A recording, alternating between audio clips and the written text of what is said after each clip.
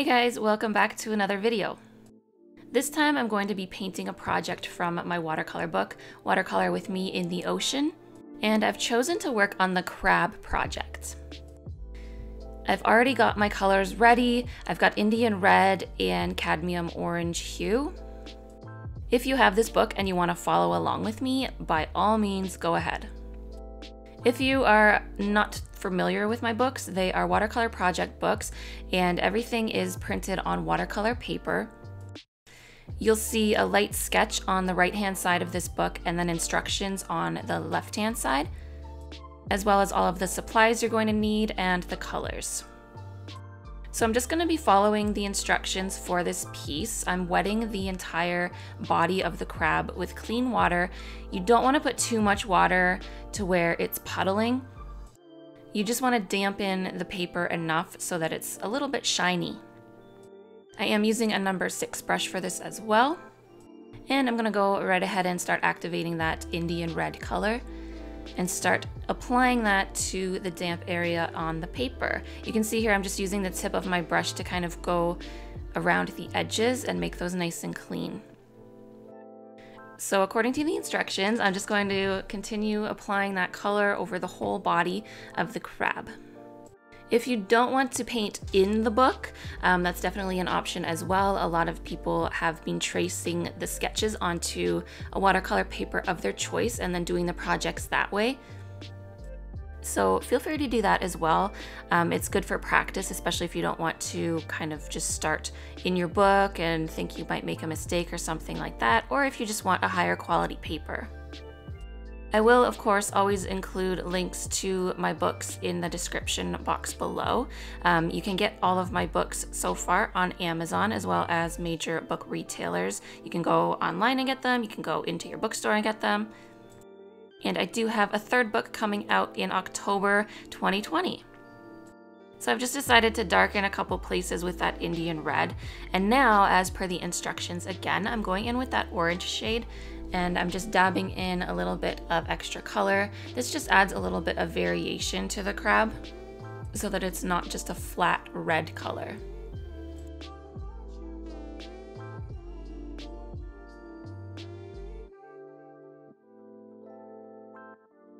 I'm gonna dry off my brush now, clean it, and then wipe it on a paper towel as per the instructions. And then I'm just going to take that dry brush and lift off some of that color to create those little shiny spots on the back of the crab.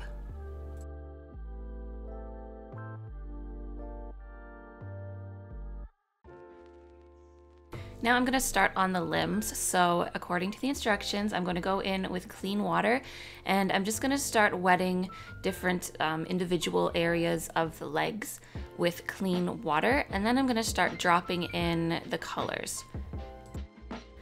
So again, we're just gonna wet it so that it's damp. You don't want puddles. Uh, and then I'm gonna grab Indian red and sort of dab that in and then dab in a little bit of orange on top of that. If you find that you've gone a little bit too dark, you can always clean your brush, dry it off, and then lift off some of the paint. So you're just gonna continue doing this on all of the limbs. You'll notice that I sort of skip the limbs or the sections of the limbs that are right next to each other. That's just because I don't want the colors blending together while the paper or the paint is still wet.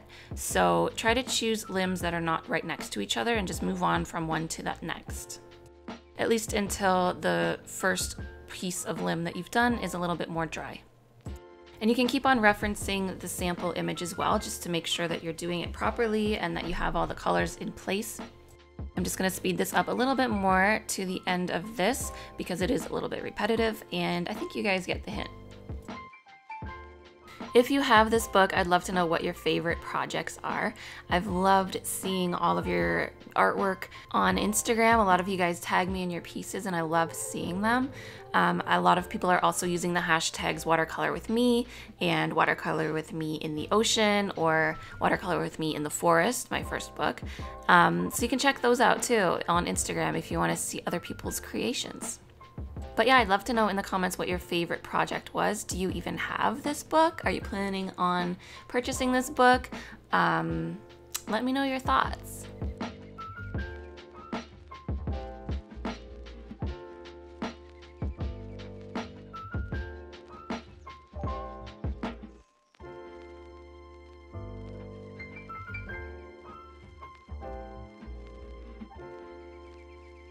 I'm just going through now with a darker mix of the Indian red, and I'm gonna just darken a couple of the areas that I think need it. This part isn't mentioned in the instructions, but I just like to go through and do it anyways. I think it adds a little more dimension when you just add a little bit of shadow or darker detail. So now when everything's dry, I'm gonna take my Micron pen. It's just a permanent ink black pen. This is also listed in the supplies and I'm going to draw on the little eyeballs. And the painting portion is basically done. We're just gonna be using ink pens now to kind of finish this off and add highlight details. So I'm using my Jelly Roll white pen and I'm going in and just adding little highlights wherever I have them on the example image. If you're looking for a list of supplies, check the description box. I've got an Amazon link there to my Amazon store that kind of suggests um, and recommends supplies that I like using, like this Jelly Roll white pen. And you'll totally notice when you're doing this that the piece just starts to come to life. Adding highlights against the darker areas, like the shadows, it definitely finishes off a piece. So definitely pick up a white pen if you have not already. If you don't have a white pen, you can always use acrylic paint, um, white gouache, um, anything that is more opaque than a watercolor.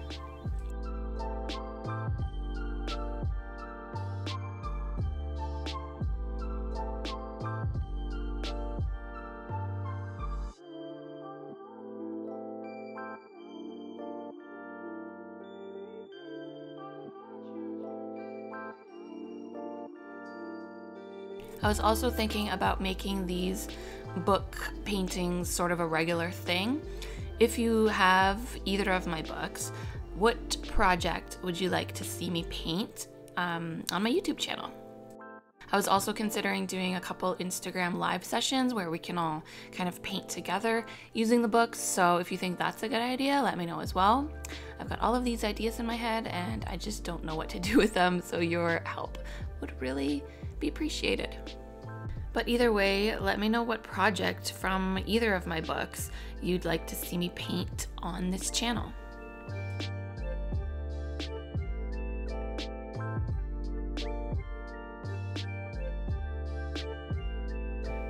So also while I work on these highlights, I just wanted to apologize for not posting in so long.